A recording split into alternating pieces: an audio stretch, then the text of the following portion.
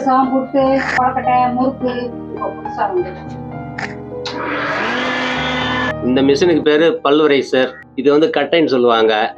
கீழே வந்து ஜல்லடை இருக்கு.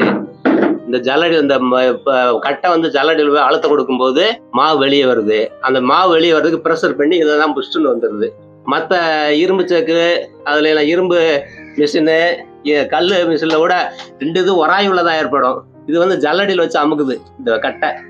அதில் மாவு அதனால மாவு ரொம்ப சாஃப்டாக இருக்கும். அது புட்டு இடியாப்பம் முறுக்கு இதுலக்கெல்லாம் அந்த இதுல அரைக்கிற மாவு நல்லா இருக்கும். எல்லாம் அரிசி மாவு கே கேழ்வரகுலாம் கூட அரைக்கலாம். மாவு வந்து அந்த கல்ல இரும்புல இருந்து அழுத்தம் கொடுக்கும். மாவுனுடைய அழுத்தம் இருக்குது. அழுத்தா புஷ்டு நம்ம எப்படி பஞ்சை வச்சு ஒத்தரம் கொடுக்குறோம் அந்த மாதிரி மாவு நைஸா வரும். ஆ இப்போ மக்கள் இதுதான் விரும்புறாங்க. இந்த மிஷின் ஓடும்போது பாருங்க அந்த காத்துக்கு இது புஷ்டுன்னு வந்துகிட்டு இருக்கும். காத்தினுடைய அழுத்தத்துல அப்படியே இதாகுது. அதனாலதான் இதை பாருங்க. இதையும் பாருங்க. இந்த ரெண்டு கல் உராய்வுனால வரல. இப்போ கட்டை வந்து அந்த ஜல்லடையில் போய் ப்ரெஷர் கொடுக்கறதுனால மாவு வெளியே வருது. பல்வைசர் ஈர அரிசி அரைக்கிறது. சீக்கிரம் ஒரு நிமிஷத்துல அரைச்சிடும் இந்த ஜல்லடையில் வெளியே வரும் இந்த இதில் அரைச்சிடும் அதுதான் பல்லு அரைக்கிறது.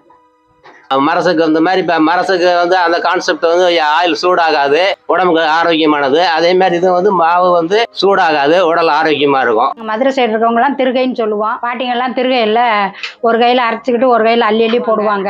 கொஞ்சம் கொஞ்சமாக போட்டு தான் அரைப்பாங்க. இப்போ அதுவே மிஷினில் கரண்ட்டில் வந்திருக்கு மிஷினு இப்ப பாருங்க. ரெண்டும் கல் கீழையும் கல் மேலையும் கல் அதனால நம்மளுக்கு மாவு வந்து ரொம்ப நைஸா இருக்கும். சப்பாத்தி சாஃப்டா இருக்கும். இப்போ நீங்க பெரிய பெரிய பிராண்டட் ஐட்டம் வாங்கும்போதெல்லாம் அதுல எல்லாம் கெமிக்கல் நிறைய சேர்க்குறாங்க. சேர்த்து அது புஷ்ஷுன்னு வர்றதுக்கு ஒன்று அப்புறம் ஜவு மாதிரி வர்றதுக்கு ஒன்று இதெல்லாம் கெமிக்கல் சேர்க்கும்போது நம்மளுக்கு உடம்புக்கு ஆரோக்கியம் கட்டுரும் அப்புறம் ஒரு மூணு மாதம் கெடாம இருக்கிறதுக்காக வேண்டி அதுக்கு ஒரு கெமிக்கல் நீங்கள் கோதுமை நேரடியாக வாங்கிட்டு வந்து எங்களுக்கு கொடுத்தீங்கன்னா நீங்கள் அரசு கொடுத்துட்டோம்னா அதில் உங்களுக்கு உடம்புக்கு ஆரோக்கியமானது கிடைக்கும்.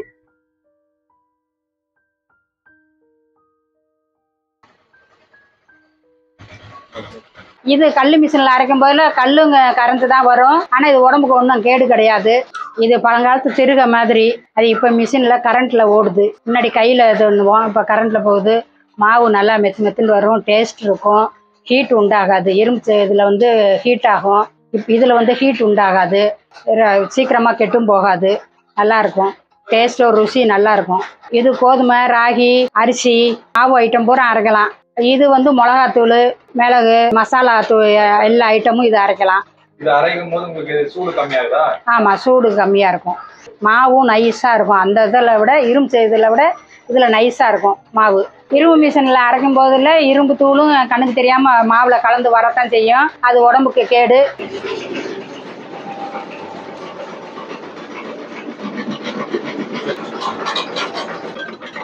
மாவு நைஸாக இருக்கும்.